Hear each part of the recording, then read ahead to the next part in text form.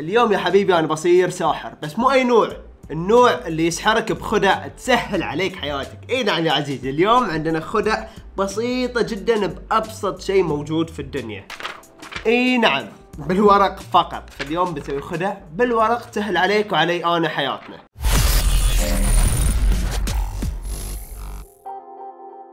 أخوكم عبد الرحمن واليوم عندنا فيديو جدا جدا جدا شاطح. مو من نوع الفيديوهات اللي أسويها ابدا بس اليوم أنا بسوي خدع حق أشغال إحنا نسويها يوميا في حياتنا ونستصعبها يمكن أو تكون صعبة علينا بس اليوم أنا بلقى طريقة تسهل كل شيء علينا. أبسط مثال حاليا وأنت تتابع الفيديو يمكن الأغلب قاعد يتابع على التلفون. مجرد ما التلفون قاعد يتابع الفيديو okay قاعد يضغط زر ال like والاشتراك. من تحت لتحت okay. طبعا يمكن اللي قاعد يستعملون ال PC أو اللابتوب خليكم على صوب شوي في خدع لكم أنتم بعد. بس يمكن أنت حاليا صار لك قاعد تتابع فيلم مسلسل فيديو فيديوين ورا بعض خلاص يا ريت تعبت تبي تريح وتبي تخلي التلفون بطريقة مناسبة. بس ما يوقف التلفون التلفون دائما يطيح. فالحين أنا عندي لك الحل بالورق فقط. أول شيء لازم نسويه نختار لون مناسب أحس باخذ أزرق. أزرق حلو كذي ثاني شيء بنسويه بروح أتابع الفيديو لأنه ما أعرف الطريقة.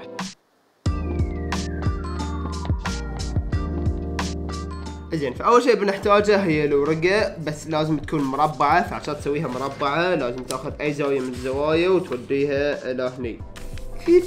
بعدين تاخذ مقص بس شوفوا الغباء. أنا أشتري المقص عشان أقص هاي الأشياء. تقوم أنت تربط لي المقص بذي شلون شلون الحين؟ شلون أقصه؟ كذي يبي تكون قوي. بعدها نقص هذه بكل سهولة. بعد ما صار عندنا ورقة مربعة الحين نتفس إلى النص.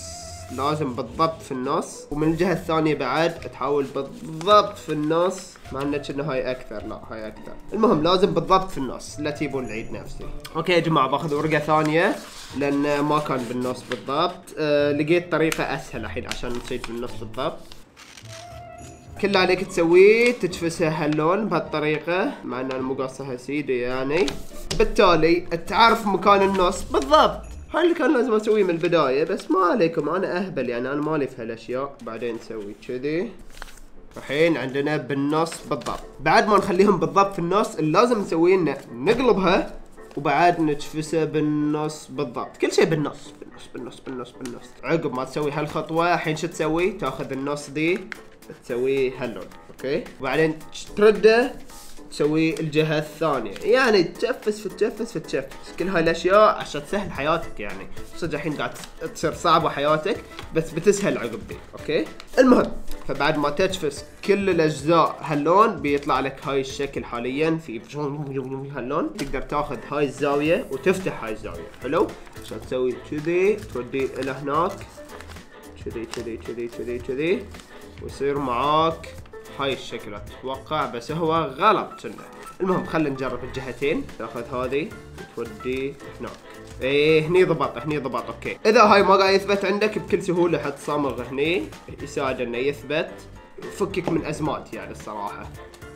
بعدها بيصير عندك هاي الشكل. شو تسوي؟ تقلبه تضغط هني. بدون ما تخاف لحظة. إيه كذي. تسوي هاي الشكل. والحين يا عزيزي تأخذ هاي الشكل تخليه هنا وتأخذ تلفونك ثابته نفس ما تشوفون. مرتاح مرتاح. طبعا ما أدري إذا هاي الحركة بتفيدكم الصراحة أو لا إذا مفيدة أو لا. أنا في شيء ما عجبني واللي هو نفس ما تشوفون هاي الشكل يغطي عليك. فأتوقع لو خفسته بيصير ما منه فايدة الشكل. أو تقدر بكل سهولة تأخذ أي شيء وتخلي التليفون عليه وخلاص. هاي ممكن يسهل عليك حياتك يعني بعد. بس انه إذا ودك تسوي هالحركة قيموها قيموها في الكومنتات. خلينا نروح حق الحركة اللي بعدها. الحين تابعت وايد من فيديوهاتي وخلص عليك ال charge بس لازلت مستمتع تبي تشوف فيديوهاتي. شنو لازم تسوي؟ صح. أول شيء تشترك عشان تشوف باقي الفيديوهات. بس الشيء الثاني إنه تخلي تلفونك على ال charge بس تعرفون المشكلة اللي تصير لما تخلي تلفونك على ال charge وما في طاولة يمه أو شيء فتضطر تخلي تلفونك على الأرض وممكن بكل سهولة أي أحد يجي يدوس على تلفونك أو يخربه أو ماي ينكب عليه أو شيء. أنا عندي لك الحل المثالي. آخذ اللون الأخضر. كل اللي عليك تسويه تأخذها بالطول تجفسها بالنص. بعدها شو تسوي؟ تقص الجهه الثانية اللي ما تحتاجها. ما عليكم إذا النص شكله قبيح أو لا بس اللي بتسويه عقب بتجفسها بعد بهالطريقه حلو؟ حلو! اللي بتحتاجه بعدين إنك تأخذ الشاحن اللي أنت تستعمله وتخليه هني عشان تأخذ القلم وترسم حوالينه. بس ترسم الشكل حوالينه وبعدين تشيله وتأخذ شيء يقص غير المقص لأن المقص بتضطر تقص من برا. تأخذ الشاحن تتأكد. هل هو مكانه تمام. إيه بالضبط تمام. المفروض الحين يا جماعة إنه بكل سهولة تخليه في الشاحن وتخليه بهالطريقة ويثبت. خلينا نروح نجرب الشيء في الصج okay؟ ونفس ما تشوفون بكل سهولة تخليه بهالطريقة قاعد يشحن. إذا تحتاجه تسوي هاللون دب إذا تبي تخليه مرة ثانية دب وهو يشحن.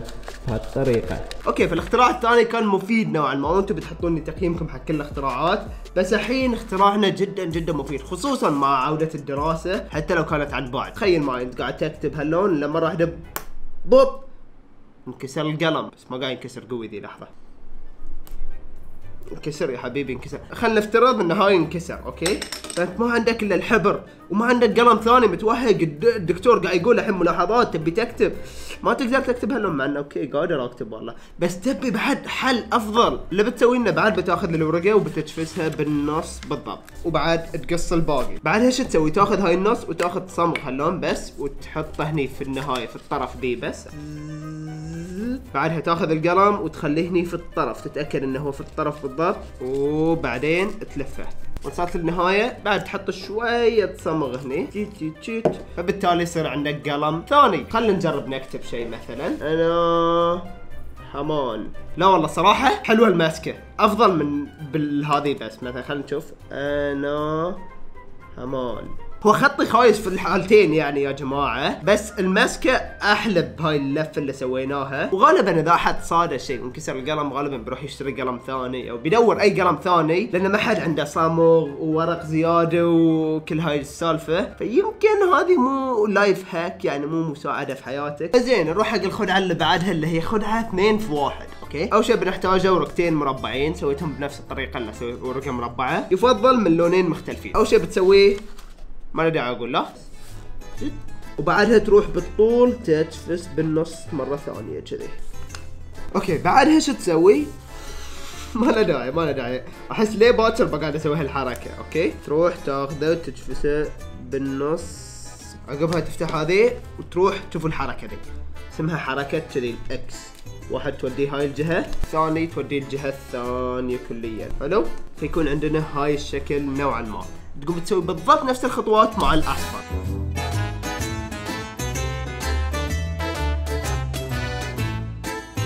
الحين شنو لازم نسوي؟ نروح حق هاي الجهة اللي هي هني ونقوم ناخذ زاوية من الزوايا وندخلها على الداخل كذي. المهم إنه لازم الجهة الثانية بالضبط نفس الشيء نسوي نفس الزاوية. ما يصير أخذ الزاوية الثانية وأوديها عكس لا لازم بالضبط نفس الزاوية. فنفس ما تشوفون واحد لازم يسويه بهالطريقة والثاني يسويه من الجهة الثانية فيصيرون عكس بعض. صدقوني ترى راح أحس معقد الحين بس بتحسون بالراحة النفسية بعد ما نخلص. المهم فعندنا هاي الشكلين ناخذ شكل منهم ونقلبه ونخليه بهالطريقة فوق الشكل الثاني okay؟ شكل زائد كأنه. إيش تسوي؟ تقوم تاخذ هذه تخليها داخل في النص في النص في النص.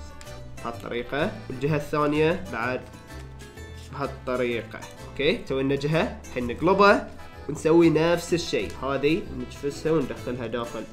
هني. فنفس ما تشوفون أول شيء عندنا تشين تشين نجمة نينجا. تفلتها كذي. خلنا اراويكم ها؟ عليكم. okay راحت فوق بس زين حق ترميها. ولو عندك تكنيك النينجا تقدر ترميها بشكل قوي. لحظة خل اراويكم ها إيش رأيكم؟ المهم فهاي التكنيك الأول حاليا صاير حق الدفاع عن النفس. بس شلون الراحة النفسية؟ حبان قلت لنا راحه نفسيه نبي نرتاح. أنا اضبطكم تحتاج عود أسنان أو في حالتي أنا الصراحة باخذ شوكة بلاستيكية لأن ما عندنا عود أسنان هني. كل اللي عليك تسويه تكسر الحد مال هذه الشوكة. فناخذ الحد مال الشوكة وفي نفس الوقت لازم ناخذ لنا أي شيء حاد هاللون ونسوي حفرة في النص okay؟ تاخذ هذه الحد تحطها في الحفرة. تتأكد إن الحفرة نوعا ما حجمها مناسب ما تكون وايد ضيقه لأن بتحتاج تخلي عود الأسنان أو اللي يكون هني في النص okay؟ يكون تمام.